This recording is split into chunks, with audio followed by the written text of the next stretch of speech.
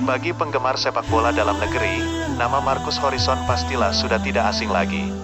Sejak dipercaya menjadi penjaga gawang tim Merah Putih pada babak penyisihan grup Piala Asia 2007 lalu, Marcus kecil lahir di Pangkalan Berandan, Medan, tanggal 14 Maret tahun 1981. Markus dibesarkan di keluarga yang semua anggotanya beragama Kristen. Markus yang merupakan anak dari pasangan Julius Ririhina dan Yeni Rosmawati, banyak memperoleh gambaran mengenai agama Islam dari keluarga pihak ibu. Ibu saya awalnya Islam. Sejak menikah dengan ayah, ibu berganti kepercayaan mengikuti kepercayaan ayah, tutur pemilik nama lengkap Markus Horizon Ririhina ini. Menurut Markus, kedekatan dan keakraban yang ia miliki dengan kerabat dari pihak ibu, membuat Markus sejak kecil sudah tidak asing lagi dengan hal-hal yang berbau Islam, seperti salat, puasa, dan mengaji. Sejak duduk di sekolah dasar, saya sering menghabiskan liburan sekolah dengan berkunjung ke rumah saudara dari pihak ibu yang tinggal di Aceh. Dari situ, saya sering ikut mereka ke masjid. Tidak benar-benar masuk sih, tapi ya saya banyak memperoleh gambaran tentang Islam, dan salah dari situ, cerita penjaga gawang terbaik, versi gelaran Liga Indonesia musim tahun 2007 sampai tahun 2008 yang lalu ini.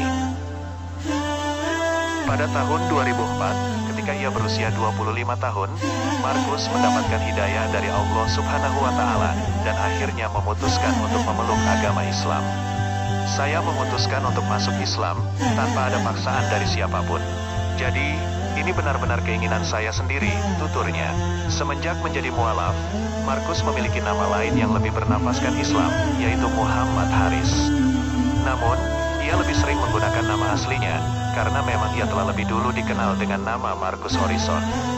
Keputusan Markus untuk menjadi mualaf bukannya tanpa rintangan. Di masa-masa awal perjalanannya memeluk Islam, ayah beserta ketiga kakaknya menentang keputusan tersebut. Awalnya tentu mereka semua merasa keberatan. Hal tersebut wajar, dan saya sangat bisa mengerti.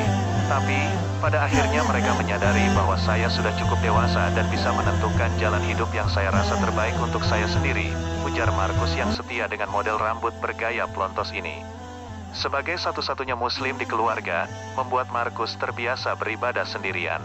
Di kala bulan Ramadan tiba, Markus biasa sahur, berbuka, menjalankan tarawih, dan merayakan lebaran Idul Fitri dan Idul Adha sendirian.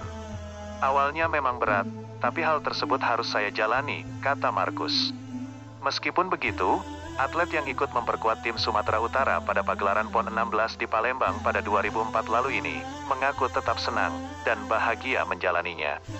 Menurutnya, dalam menjalani agama yang ia anut sebelumnya, dengan yang ia anut kini, Markus tidak menemukan adanya sebuah perbedaan yang teramat besar.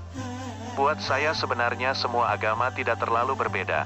Semuanya mengajarkan kita untuk selalu ingat kepada Tuhan. Hal terpenting sebenarnya hanyalah bagaimana kita menjalankan kewajiban kita sebagai umat beragama, lanjutnya.